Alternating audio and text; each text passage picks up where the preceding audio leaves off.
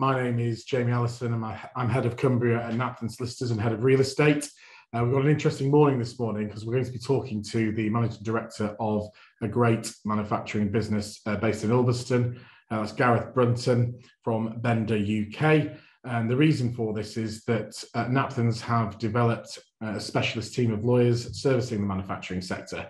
And as part and parcel of um, explaining what we do to clients and how we do it, we also want to gather insight from some of our clients as to what they're seeing in the current macroeconomics, the economy, and how they go about things and servicing their own customers. So, welcome, Gareth from Bender UK. Thank you very much for giving us some of your time.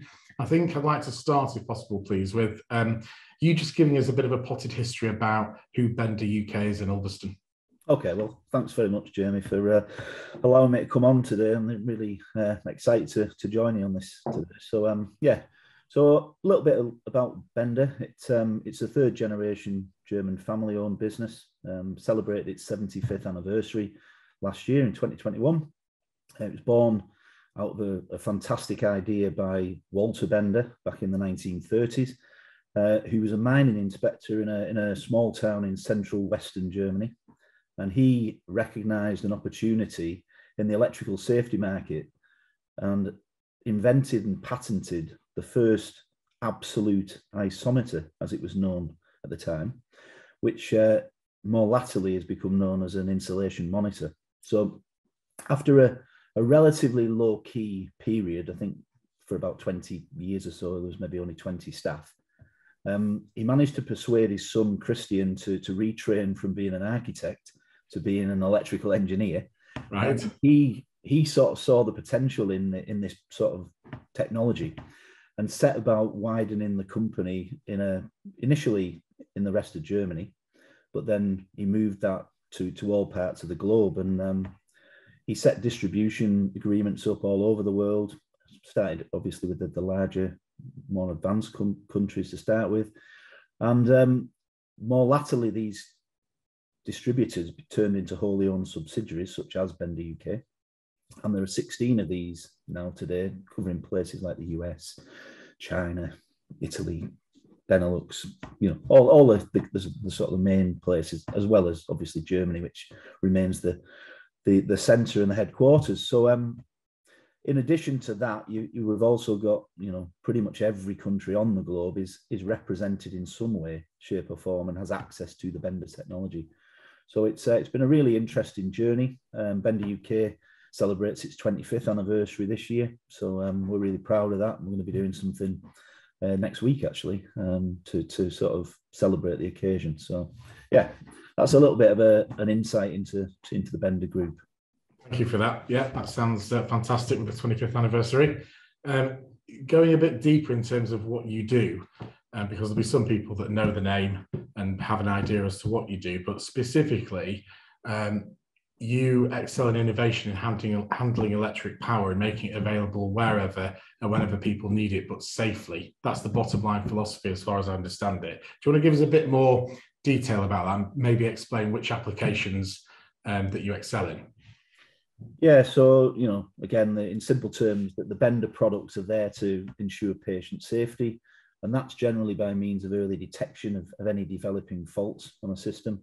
But it's also a, a big uh, drive is the continuity of supply and operation. So it's it's clearly much better to know something is going to fail before it actually does.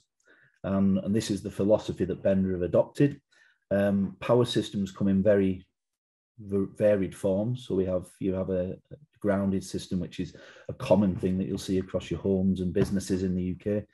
But um, predominantly, the insulation monitor is used in an ungrounded power system where there's no actual direct connection to Earth, and therefore there's no route back for a, a, a fault to, to trip any uh, protective devices. So it's very important, therefore, that you have some form of indication, and that's where the insulation monitor comes in over the years, they've developed systems that will work on any power system. So whether it's high resistance grounded or, or a normal grounded system or ungrounded, we've got solutions for everything. But generally speaking, the philosophy is that we will prevent something happening before it's going to, um, or warn you that something's going to fail. And we will also increase the, the, the, patient safety as well as a result of, of these warnings. So it's uh, it's widely used in in applications where power and the um, reliability of power is essential. So for us, healthcare, um, shipbuilding, railway, um, oil and gas, places where you, you really can't afford for the, the power to go off. These are obviously the, the, the, the predominant places where the technology is deployed. Understood. So cutting edge in, in many ways. And a lot of people, well, globally, in whichever sector we're in, we've got quite a few challenges that we've overcome over the last two and a half, three years.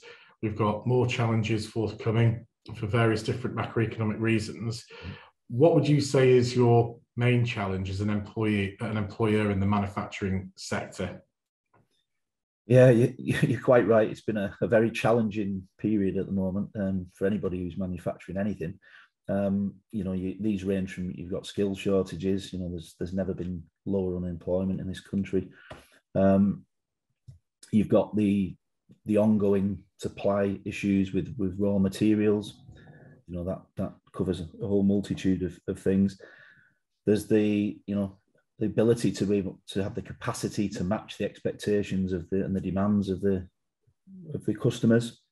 You've got you know the cost, the controlling of costs, which are you know the energy increases and all the rest of it that's it's spiraling out of control. So you've got you've got to manage that, and then the the geopolitical situation that we're faced with at the minute. You know, it's uh, it's a it's an interesting time if that's the the right terminology, but um, it's certainly challenging.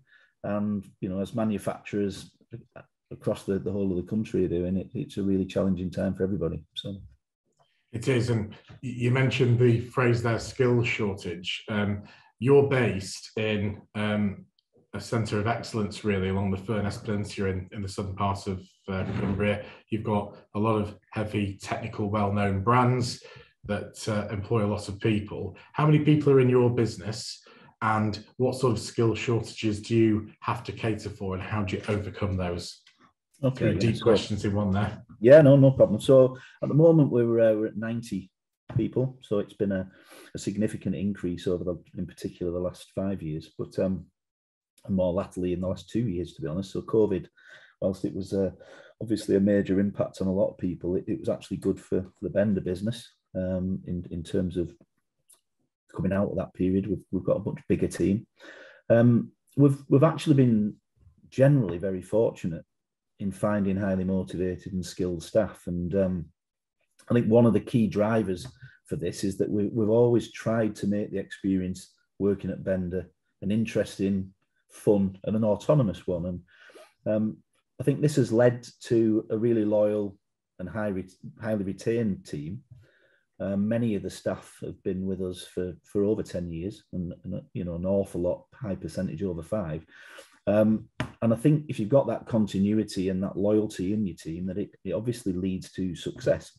And um, we've we've always been a, a, company that have gone under the radar, probably globally, um, but certainly in the local area. You know, people would come along and who you work for, Bender? or never heard of them, and that's something that um, my uh, predecessor Steve Mason was very keen to, to try to uh, improve the situation, and I've sort of carried that on and um, we've slowly but surely spread the word, and um, you know we've gone from a, a, very very small team in, in Cumbria to to a reasonable size one. And I'd like to think now that you know through a lot of the good work we've done, we, we've we've people are aware who Bender UK are and what what we do, and I think that helps when you're trying to attract new talent. So you know the other things that we've um, we've done that's been successful is we've we've tried to bring apprentices through. So that was an, an area in the I was very keen to uh, to explore, and I think you know it's important that we give the the youth of of today and tomorrow the opportunity to to forge a career, and I hope that that's the thing that is really sits at the heart of things with me. It's um Bender is a career. It's an opportunity to to forge a career path. It's not just somewhere you want. We want people to come for a, a, a short stay and a short time. And there's so many different paths that you can follow in Bender. So you can start as an engineer, as I did, and end up as the managing director, or you can start as an engineer and going down the sales route, or you can go start as an engineer and go down an operations and projects route. There are there's so many paths, and I'm a, a large percentage of our team now that are in more senior positions have all started in a at somewhere else in the business, and I think that's been really really successful. And of course, it it, it ensures that the skill level and the knowledge of the company is kept within the team, and and that again I think is a is a key ingredient if we're trying to succeed. So it does come across as a great um, family feel as well in your business. I know a lot of people will probably say the same thing or try and mimic that same thing. But I remember you do a family fun day barbecue in the summer um, over the last few years or so. That's that's clearly one thing that you do to try and envelope the family at Bender. What else do you do to uh, to look after the staff? Yeah, well, we we, we try to encourage um, you know a lot of social things. We have a social committee, and they organise a lot of events, and that could be as simple as just going for a walk, or it could be as simple as going for a beer on a Friday after work, or a meal, or um, we've had trips to the races. We do a, an annual Cartmel trip that uh, I think I've actually seen you seen you there before. I'm but um, yeah, I think you have. We um we do uh, we have an annual Christmas party where everyone's invited, including partners, so that we, we you know that's um, something that we've we've always recognised is it's almost you know people's families have to endure the fact that the uh, partners or fathers or mothers are, are out of the business for a long periods of time supporting it, and it's good to give something back. Um, we've tried to work with on a flexible basis, so we've we've worked hard to give people flexibility, especially after COVID. So we no longer do a full um, fixed hours week. We're on a you know a hybrid type working system where people can, you know, we don't open the office on a Friday, but you can still go in if you wish to. But uh, generally speaking, people have to do two days in the office. Um, some choose to do more, but um, it works really well. And I think that's the key to the future. It's flexibility, recognizing that you know people have got lots of things going on in their lives, and and you don't need to be sat at a desk chained to a desk eight till five to get the best results. It's about productivity, and that can come at any any part of the day. And, and actually getting out for a walk midday or you know going and picking the children up or dropping them off at school. You know, these are things that in the past wouldn't have been allowed. But now, you know, we big believers that actually helps with people's mindsets and, and the end result is more productivity and a more successful team. So yeah, I concur with all of that. I think uh, the majority of us have adopted the uh, the same working methods, and, and it's for good reason as well. Um, I just want to touch on on something really, and, and, I've followed this chat for a number of years now, and you'll know him, um, Jürgen Maier, who was the uh, previous CEO of Siemens. And one thing I followed with him uh, on our manufacturing journey is uh, his mantra of adopting new technologies and how he foresaw the fourth industrial revolution evolving in the UK and how the UK is well underinvested compared to our counterparts in Germany, as it happens. He, he, he spoke um, boldly about that. Um, where do you see uh, you, where you've adopted technology that gives you a, a, competitive advantage in Bender? Yeah, well, to be honest, there's there's been many areas over the years where we've, we've done this at, Bender. I mean, obviously, we brought the the product, we invented the product and brought it to market. So you can go back as far as the sort of 75 years ago to, to, to look at an example of that. But, you know, just some that are relevant to, to the UK, I guess. Um, we were instrumental in the changing of the standards for the network rail. So all the rail signaling system, signal power systems, um, we're heavily involved there with, with making, working closely with them to give them uh, the solution that they needed. And that just wasn't an off the shelf yellow box. It was an actual solution that was developed with with other third parties and and people to, to, to end up manufacturing a solution. Um, healthcare is an area that, you know, pre 2000, there was no requirement for any equipment like Bender provide these days.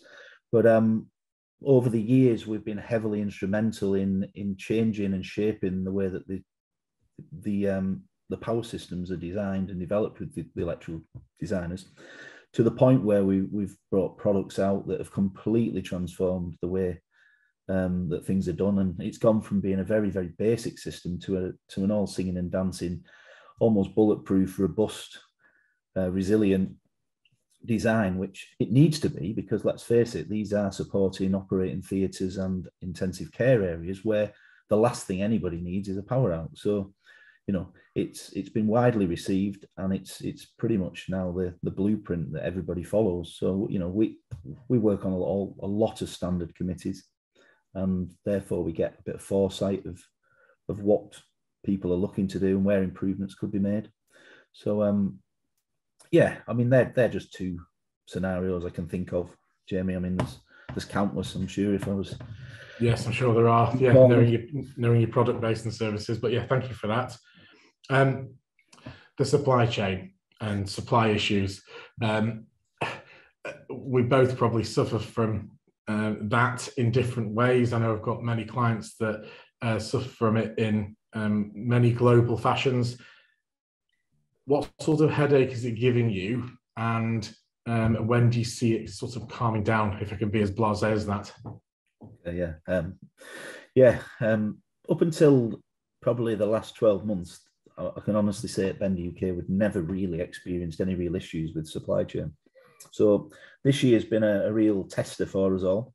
Um, and it sort of coincides with our biggest ever year as well. So it's uh, the timing couldn't have been any worse from that perspective. But um, supply chain, I mean, it, it, it, literally covers everything. There's there's global problems with shortages of raw materials. There's a lack of semiconductors. There's no microchips, and all of these parts are needed in Bender technology. So um, we've we've literally had to let customers down. We've had to turn down orders in the past. You know, this is, it's been as severe as that.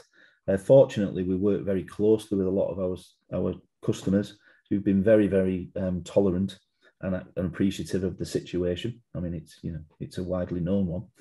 And um, we've also, while this has been going on, we've looked at other ways where we can try and alleviate the, the situation. So there's been a lot of product redesigns that have been ongoing, and and that's helping to to bring things forward a little bit in terms of the when it when it'll end. Um, the sooner the better would be uh, the, the, honest answer, but um, in reality, I think we've we've probably got at least another six months of of pain, um, and we've just got to manage that as a team with our customers and our supply chain, and hope that we can uh, we can get through the period. Uh, one thing on, on the back of that um, thanks for that answer. On the back of that, one thing that um, I was quite taken aback by when we spoke last time is that you have adopted um, a really effective way of CRMing your customer base, haven't you? And that that starts from prospecting right through to repeat business. Just share with us how you um, look after your customers because it's um, it, it, was very slick and professional from what I saw. Yeah, thank you. Um, yeah, we're very proud of the, of the system, and I mean this is something that started maybe 2012, so I can't take the credit for this actually, but I was involved in it. But um, yeah, we, we recognised that we had no way really of, of, of, of recognising where the customers were or actually storing the information centrally. So we embarked on a long journey with a CRM provider, and um, we we literally have a, a, really slick system, as you say, that takes it from a the initial inquiry, and it takes that customer journey right through from a you know we, we manage our projects through it we we place our orders through it. We um, we have a full history of what's gone on with conversations, um, emails, trails, etc., etc., with with the, the customer, and then that we use a lot of workflows to to be able to actually trigger things with other departments in the business, so they're aware that we can then the after sales can kick in, and we can actually make sure we support the customer in the in the manner they do. We're using it to um, we're using it for time to manage time with with our engineers. So rather than a, an old fashioned timesheet system, we're now doing things all through this. We've got a mapping system to ensure that the engineers can be deployed in the in the best and most foreseeable um, situation. We've got um, a, a, system where the reports, one of the, the the reporting system is much better now, so the customer experience is a very slick one. So in the past, it would have been a paper copy signed, sent back in the post to head office, sent back out to the customer. Now it's a, literally a click on an iPad, and then it's back in the uh, in the cloud, and then with the customer the next day in many instances. So that's come come on leaps and bounds. We, we, we use it essentially to manage the whole business now. It has become sort of the fundamental part of the business, and everybody in the company works from it. Um, you know, it, has been a really powerful tool, and I, and I think you know, probably the biggest reason that we've we've grown as much as we have over the last ten years. So yeah, I remember. I remember seeing it and discussing it with you, um, probably through the lens of green eyes, because it, it, it clearly functions fantastically. So, yeah, that was a credit to see.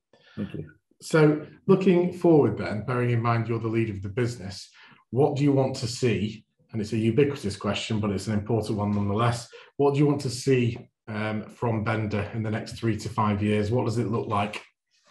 Yeah, uh, another an interesting question, Jeremy. Um, I think the opportunities for Bender they, they really are endless. You know, it, this this is one of the, the beauties of Bender as a company.